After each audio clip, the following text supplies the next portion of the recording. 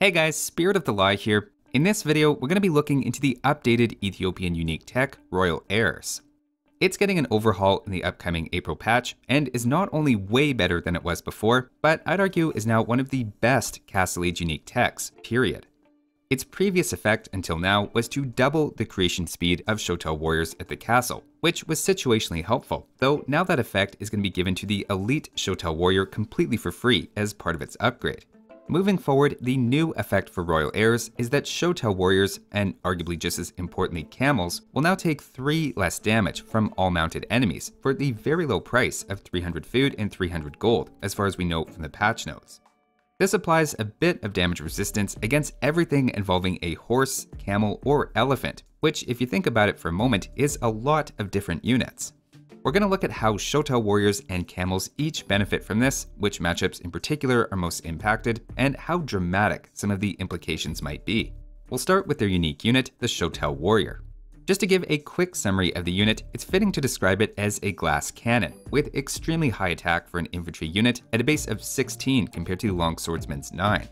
Their big weakness has traditionally just been the low HP and lack of armor, which is directly addressed by this unique tech, taking away some of that glass cannon vibe. We'll open by looking at Castle Age and some things they might commonly run into there. For all of these tests, I'll have Shotels without the unique tech in cyan, and in darker blue, we'll add the 3 anti-cavalry resistance. Also, we'll assume everyone has equal upgrades and balanced resources, and mounted units will have bloodlines, but no extra civ bonuses. We'll start with a classic matchup against Knights. In this case, even before the new Royal Heirs, Shotels could theoretically take that fight with balanced resources, giving them a slight numbers advantage. Though instead of coming out battered with about a sixth of their HP left, with the new Royal Heirs tech, it's more like half their HP.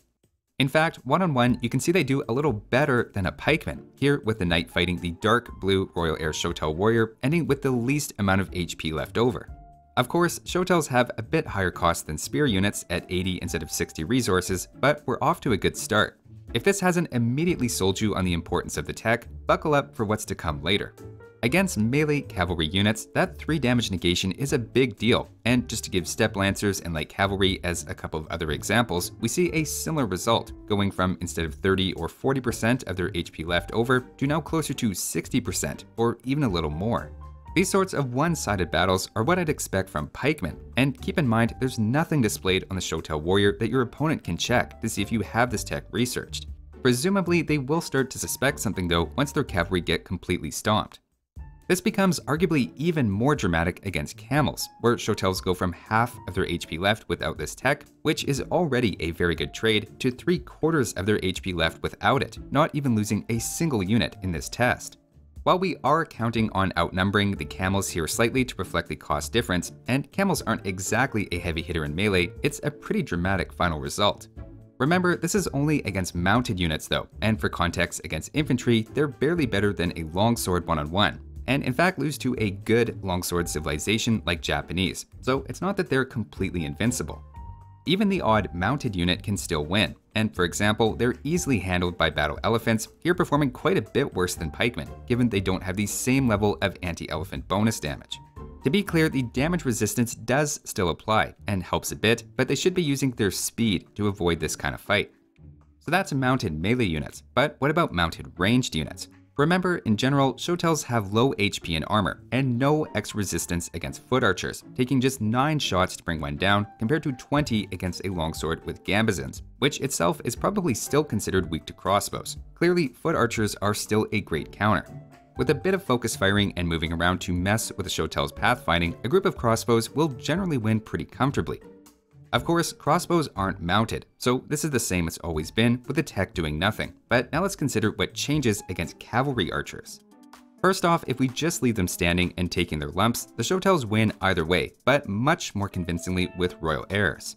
To put the significance of this tech into perspective, cavalry go from dealing 6 damage per shot, needing 8 arrows per enemy unit, to just 3 damage per shot, now needing 15 arrows. If you have a group of 10 cavalry archers, that's a huge deal, and keep in mind Shotels are also fast, so it's harder to hit and run. In fairness, I did still find it possible to win with micro, but it takes a lot of map space and a lot of attention, which is its own finite resource even if it's hard to put a number on.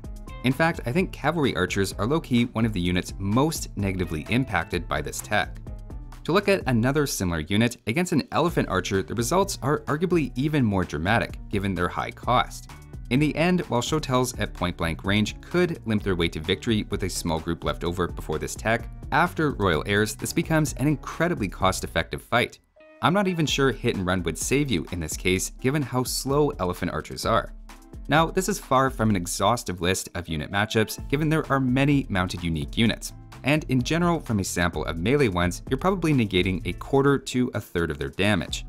The mounted range units in many cases are affected even more, given their lower attack in general, with anywhere from 20 to 50% of their after armor damage being blocked. Foot archers and melee infantry units will still be solid counters, but Shotels are suddenly becoming a very good meat shield against a whole ton of cavalry and cavalry archer civs. So that's the Castle Age, but I also ran each test again in Imperial, and while I don't want to oversell things, you can see for yourself, I'd argue the results are in a couple of cases even more impressive. To start with something like the Hussar, they were already very good from a total resource perspective, but they'll now end with double their previous HP left over. It's almost the exact same thing against heavy camels, where we see again they've gone from a little cost effective to very cost effective. Still, at no point so far have we seen a result flip because of the bonus. They're just turning what were modest victories into major ones. For the first time though, that changes with the Cavalier. Of course, the Cavalier are quite outnumbered admittedly as we're balancing resources against a much more expensive unit, but where previously Cavalier would easily win that fight, in this case it flips to being a balanced or slightly positive trade for Shotel warriors. Mechanically speaking, what's going on is the Cavalier are going from needing 4 to 5 hits to kill each Shotel warrior, letting them get off an extra of their extremely beefy attacks, which in this case is enough to flip the results on a large scale when cost is balanced. Mercifully, this doesn't extend to even generic paladins, as while they do noticeably better, they don't actually win cost effectively, and certainly not population efficiently. In fairness, massive alarm bells would be going off for me if they were actually winning this matchup, and while it may still be too close for comfort, at least things like paladins and elite battle elephants are units to be careful around with your Shotel warriors. Just like in Castle Age though, in Imperial, I think the most noticeable improvement is against mounted ranged units. For example, heavy cavalry archers again go from losing when standing still to just getting obliterated, since they do half the damage per shot they did before this tech, meaning even with micro, it just turns into a long, annoying chase. Last one, against elephant archers, we see another dramatic flip, going from Bengali elephant archers here actually winning more often than not, to now just being swarmed after doing half the damage per attack that they previously did. The main thing I can say in defense of game balance here is that Shotel warriors are relatively cheap, and with a sufficient mass of mounted range units with better population efficiency and a meat shield in front, adding some micro here and there, it's probably not as dramatic in practice as all this makes it look. Still, side by side, it seems to be doing much better across the board, and the question then is where does this leave Shotel warriors? As I'm sure you can tell by now, I think this is a big deal, as they're holding up cost effectively against all but the heaviest melee cavalry and take somewhere in the ballpark of half the damage they used to from a lot of mounted ranged units, assuming you're keeping up with infantry armor upgrades. Remember, Ethiopians are still an archer civilization by default, and given you require castles to create them, it doesn't guarantee this tech will completely dominate the Ethiopian meta. But any civilization relying on cavalry or a mounted archer unique unit, I think are to have to strongly consider finding a non-mounted response to it. Now, this is obviously a very good unique tech already, but hold on, we're not done. This tech also applies to their camels. In fairness, Ethiopian camels are not that great to start with. In fact, they lack bloodlines in Castle Age, and in Imperial Age also lack the final armor upgrade, meaning even against mounted units, we're only talking about 2 more melee armor and 1 more pierce armor, while having 20 less HP than most civilizations and up to 50 less HP than a very good camel civ like Saracens. To start off again in Castle Age against Knights, this is, as you'd expect, a decent matchup for Ethiopian camels, naturally made even better with this tech. In fact, it turns out they do very similar to a Saracen camel one-on-one, -on -one, despite missing bloodlines, which is actually quite nice, considering you save on the cost of both bloodlines, and Royal Heirs is cheaper than the Saracen Zealotry. They won't be as good against foot archers or pikes, of course, but should work well against a player going full knights. To extend the comparison to other camels, it turns out that Royal Heirs is enough to get them over the hump, so to speak, and flip from losing to winning against generic Chinese camels, so it's pretty clear they're situationally above average. They're nowhere near top tier though, and they still lose convincingly against Saracen camels, which I think suggests reasonable balance, given that's what Saracens are meant to specialize in.